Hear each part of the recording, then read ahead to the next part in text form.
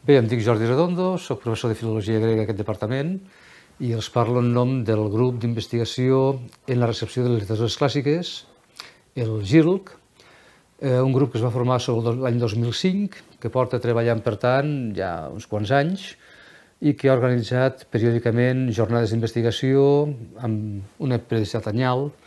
i, a més a més, alguns altres seminaris eh, sobre didàctica o sobre aspectes que considerem rellevants pel que fa a la recepció de la literatura del món antic a les literatures modernes. Metodològicament,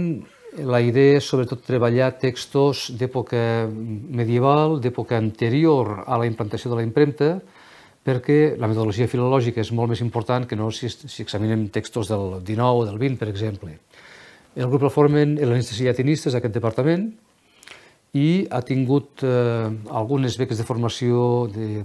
professorat universitari al seu càrrec, però és un grup relativament obert en la mesura que hi ha membres que ho han deixat per formar part d'altres grups o d'altres que ara mateix no són professors a la casa, o són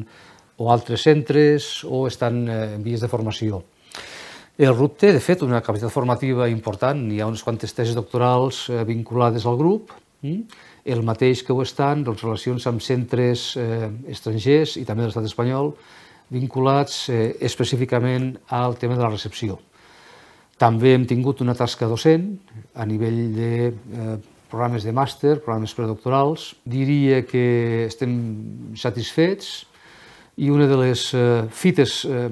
que jo considerava importants per assolir, crec que està, està assolida, que és el fet que eh, un servidor, com a investigador principal, eh, sap ficar-se a banda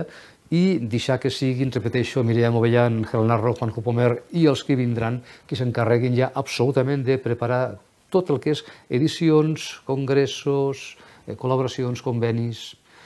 Això em fa pensar que el GIRLC té vida per davant i que hi haurà més iniciatives que eixamplaran, jo espero, doncs, les fites, els objectius i els assoliments.